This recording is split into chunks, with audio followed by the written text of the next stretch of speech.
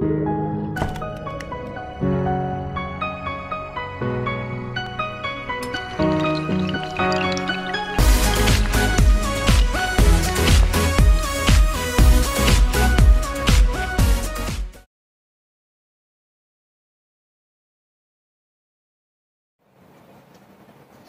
આગળ જોયું હવે એના આધારે બીજા થોડાક વ્યવહારિક દાખલા કોઈ એક પ્રશ્નોત્તરીમાં જેમ કે વર્ગમાં પ્રશ્નતરી કરી હોય, તો સાચા જવાબ માટે ધન અંક અને ખોટા જવાબ માટે ઋણ અંક આપવામાં આવેલા છે. હવે મેં અહીંયા બાજુમાં નિશાન પણ કર્યું છે. તો તેને અંતમાં તેને કુલ કેટલા ગુણ મળ્યા હશે? અહીંયા પાંચ રાઉન્ડ લીધા છે. કેટલા રાઉન્ડ લીધા છે? પાંચ.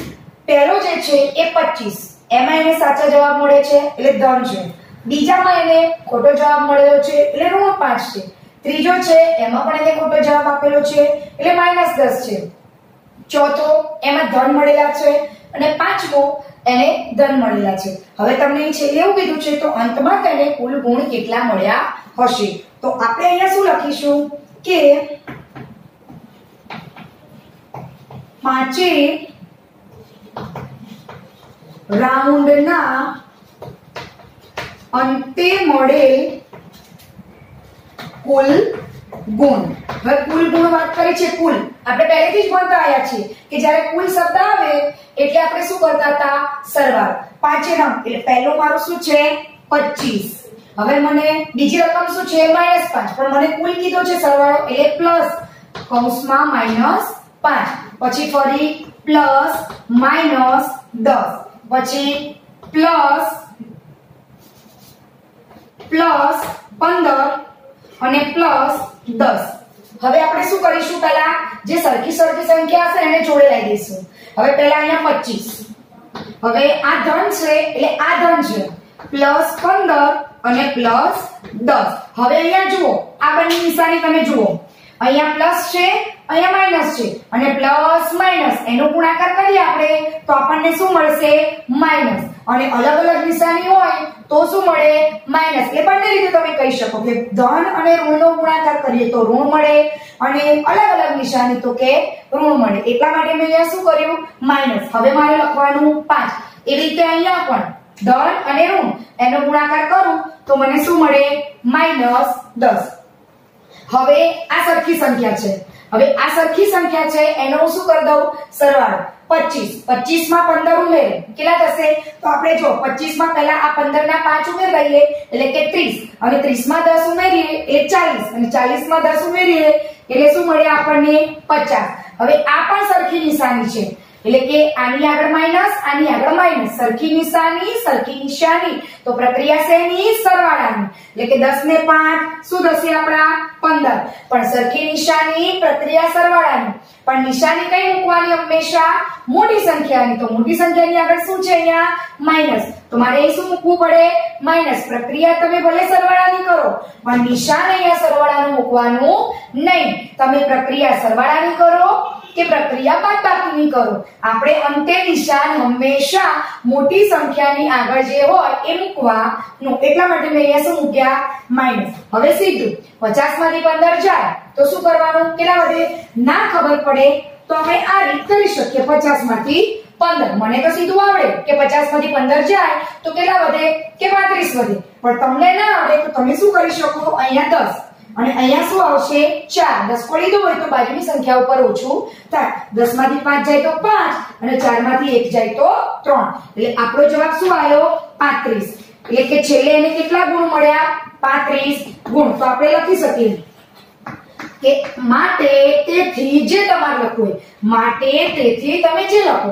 અંતમાં તેને 35 ગુણ મળ્યા હશે. હવે આગળ. સોમવારે શ્રીનગરનું તાપમાન માઇનસ પાંચ અંશ સેલ્સિયસ હતું. ધ્યાન રાખજો, ફરીથી બોલું છું હું કે સોમવારે શ્રીનગરનું તાપમાન બરાબર માઇનસ પાંચ અંશ સેલ્સિયસ પાંચ અંશ સેલ્સિયસ હતું કીધું છે. હવે આગળ જો અને મંગળવારનું તાપમાન બે અંશ સેલ્સિયસ ઓછું થયું એવું કીધું છે. એટલે આપણે શું લખવાનું? કે મંગળવારનું તાપમાન મંગળવારનું તાપમાન બે અંશ સેલ્સિયસ ઓછું થયું. મંગળવારનું તાપમાન બે અંશ સેલ્સિયસ ઓછું થયું એવું લખવાનું. માઇનસ બે નથી આપ્યું. આપણને શું કીધું છે? બે અંશ સેલ્સિયસ ઓછું થયું. તો હવે શું કીધું છે? તો મંગળવારનું તાપમાન શું હશે? તો આપણે શોધીએ કે મંગળવારનું તાપમાન. હવે પહેલું આપણને શું આપ્યું છે? માઇનસ પાંચ અંશ સેલ્સિયસ શું હતું? સોમવારે હતું. મંગળવારે એવું કીધું છે, બે અંશ સેલ્સિયસ. ઓછું થયું. એટલે આપણે અહીંયા શું મૂકવું પડશે? માઇનસ બે. જો વધી ગયું કીધું હોય, તો આપણે શું કરવાનું અહીંયા? પ્લસ હવે તમને ખબર છે. સરખી નિશાની સરખી નિશાની. તો એને શું કરવાનું આપણે? સરવાળો. સરવાળો કરીએ, તો અહીંયા શું થશે? માઇનસ સાત અંશ સેલ્સિયસ પાંચ ને બે સાત અને મોટી નિશાની. શું છે મોટી નિશાની? પાંચ. પાંચ સંખ્યા મોટી અને આગળ માઇનસ એટલે અહીંયા શું આવશે? માઇનસ સાત અંશ સેલ્સિયસ એટલે કે મંગળવારનું તાપમાન આપણને શું મળ્યું? માઇનસ સાત સેલ્સિયસ. હવે આગળ શું કીધું છે? અને બુધવારે ચાર સેલ્સિયસ વધી ગયું. તો બુધવારનું તાપમાન કેટલું? તો આપણે શું લખીએ? કે બુધવારનું તાપમાન. હવે આપણને મંગળવારનું કેટલું મળ્યું? માઇનસ સાત. બુધવારે ચાર અંશ સેલ્સિયસ વધી ગયું. ચાર છે. વધી ગયું કીધું છે, એટલે આપણે શું કરીશું? પ્લસ, અહીંયા ઓછું કીધું હતું એટલે માઇનસ કર્યું. અહીંયા વધી ગયું કીધું એટલે આપણે અહીંયા શું કર્યું? પ્લસ. હવે વિરોધી નિશાની, અલગ અલગ નિશાની, અલગ અલગ નિશાની આપણે શું કરીશું? બાદબાકી. બાદબાકી આવે એટલે કે મોટામાંથી નાની સંખ્યા બાદ થાય. મોટી સંખ્યા છે અહીંયા સાત, અને 7 માંથી 4 જાય તો શું વધે? 3 હવે સાત મોટા છે. એની આગળ શું છે? માઇનસનું નિશાન. એટલે આપણે શું કરવું પડશે? માઇનસ એટલે આપણો જવાબ અહીંયા શું આવ્યો? ઉધવાનું તાપમાન -3 સેલ્સિયસ. પછી આપણે નીચે લખી દેવાનું કે મંગળવારનું તાપમાન માઇનસ સાત સેલ્સિયસ અને બુધવારનું તાપમાન માઇનસ ત્રણ અંશ સેલ્સિયસ હશે